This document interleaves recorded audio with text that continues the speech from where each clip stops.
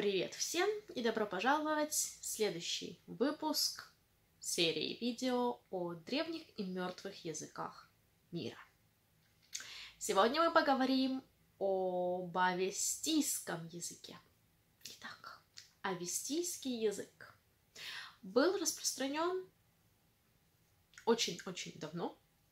А, приблизительно ученые считают где-то во втором тысячелетии до нашей эры и аж до шестого века нашей эры.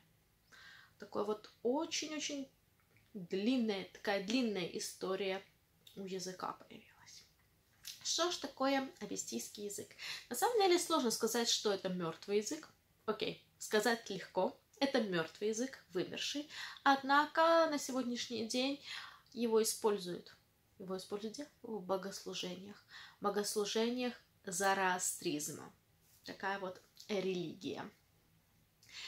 А, поэтому для всех, кто говорит, нет, он жив, он не мертвый, его используют. Нет, он мертвый, потому что в повседневной речи не используют, и он не развивается, он как будто бы законсервированный только в, э, для, в целях богослужения а язык, который не развивается, не может считаться живым.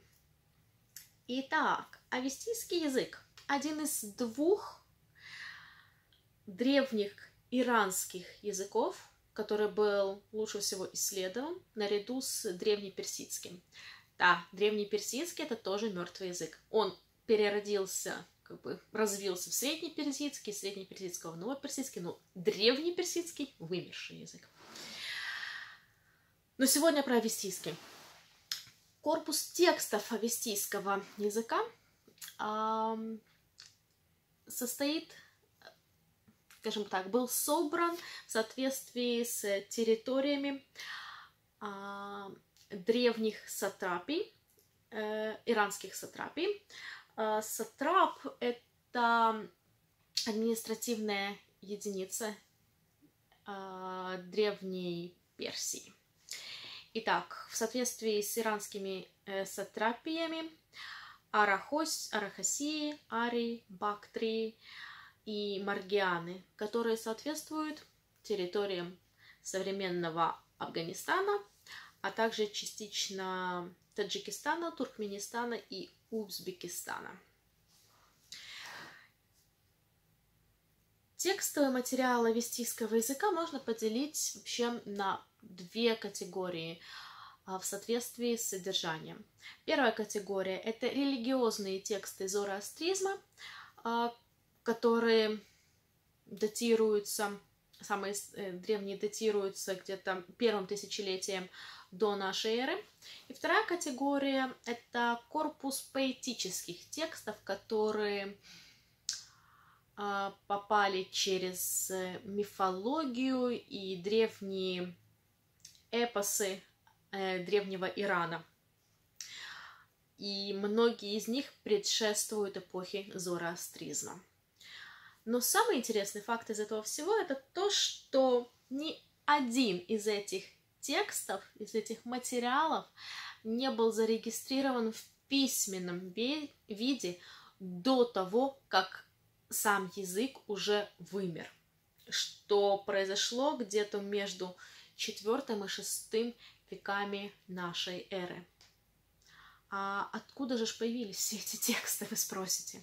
На самом деле, когда пришла эра э, Сасанида, если я не ошибаюсь, секундочку проверю, Саса... Э, да, когда пришла эпоха э, Сасанидской империи, то есть это вторая Персидская империя, э, не решили, что надо все эти тексты зарегистрировать и записать. Если у ависийского языка не было своей письменности, что же делать? Сасаниды придумали. Они э, зарегистрировали все литературные традиции ависийского языка, используя письменность Пехлеви. Пехлеви — это вид письменности э, древней, не древней, средней Персии, среднеперсидского языка. А, естественно, что просто этой письменности не было достаточно, потому что в алфавите Пехлеви было всего 16 букв, во всяком случае 16 букв, которые попали в авестийский алфавит. И этот алфавит был расширен, чтобы зарегистрировать все тонкости, все фонологические э, тонкости авестийского языка, потому что, согласно исследованиям, говорят, что это был язык тональный. А тональные языки регистрировать немножечко сложнее, чем обычные.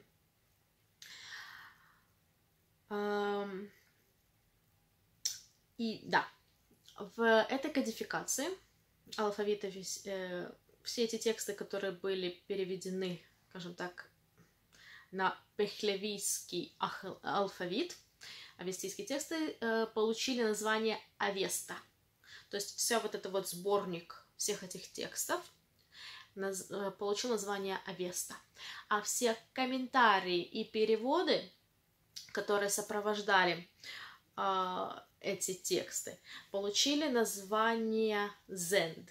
Зенд — это название, которое получили толкование текстов древней иранской священной книги Авеста, а также ее адаптированные переводы на, сами, на современные комментаторам иранские языки. То есть был древний авестийский язык, это все тексты Авеста, как бы такое общее название, и язык зенд. Это тех, все комментарии, переводы на современные иранские языки, и которые были сделаны современные того времени комментаторам иранские языки. Эм, так, что можно сказать еще о письменности авестийского языка? Ну, интересный факт, что каждое слово было отделено а, точкой. То есть мы привыкли к тому, что точка всегда стоит в конце предложения. Нет, там это был как отделяющий э, слова знак. И в российском не было никаких диакритических знаков и не было ударений. А, про диалекты авестийского языка выделяется два диалекта. Это гадха, язык такой более древний, и язык классический, э, то есть диалект классический, который составил ну, основную массу авестийского языка, более, скажем, более повседневный, что сказать.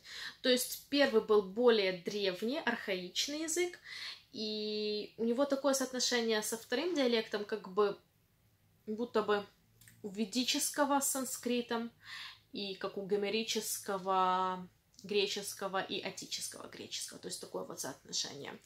Если первый считается, Гадха считался языком Зараастра и более священным, более чистым, более правильным, то во втором диалекте прослеживаются уже какие-то несоответствия с грамматикой, э, нарушение стру- синтаксической структуры, то есть уже не такой чистый, более разговорный язык. Э, что касается грамматики языка и структуры языка, то авестийский язык э, — это синтетический язык с номинативной структурой. Все имена суще... у всех имен существительных и прилагательных было три рода, Э, мужской, женский, средний, а, три числа, единственное, двойственное и множественное число. И еще было 8 падежей. Очень мало на самом деле. У глаголов было два залога, активный и медиальный залог. Медиальный залог как будто бы, когда действие произ производится над самим собой. Например, было предложение «Пасам бандаята», она повязала себе венец. Венец это типа корона такая небольшая. То есть вот это вот себе рефлексивность. Это э, один из признаков медиального залога. Также было четыре вида или наклонения. Индикатив, императив, субкунтив и аптатив. А субкунтив и аптатив считаются они немножко похожи между собой, но аптатив чаще всего используется для выражения а, надежды или желания. А также было три времени грамматических. Настоящее, а, продолжительное э, повторяющееся действие, аористическое время, аористо, а действие завершенное, э, единичное и мгновенное, и также перфектное время, которое выражает результат действия. Порядок слов в был свободный. И что интересно, что авестийский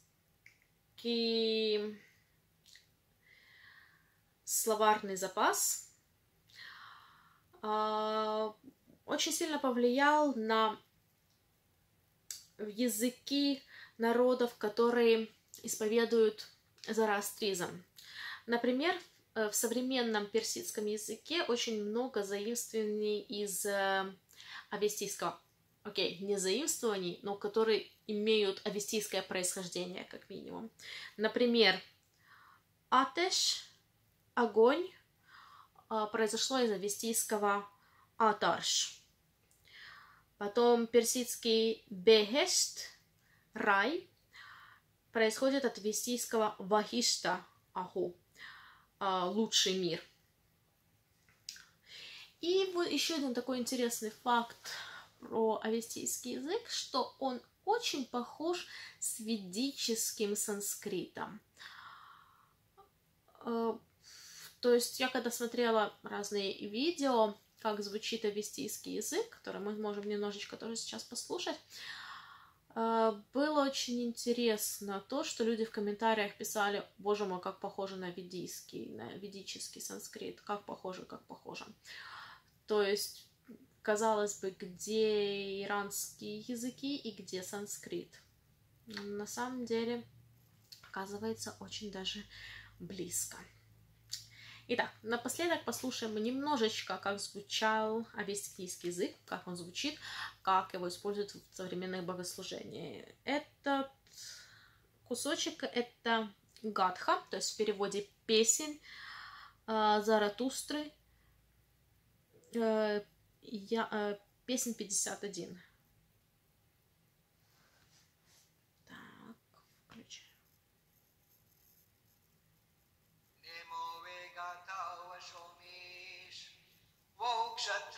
bayrim bagem aybi bayrishtem vidushem nai izachit ashantare charaiti shotanaish mazda vahishtem tatnenu chitware shane vaukshatrem vairim bagem aybi bayrishtem vidushem nai izachit ashantare charaiti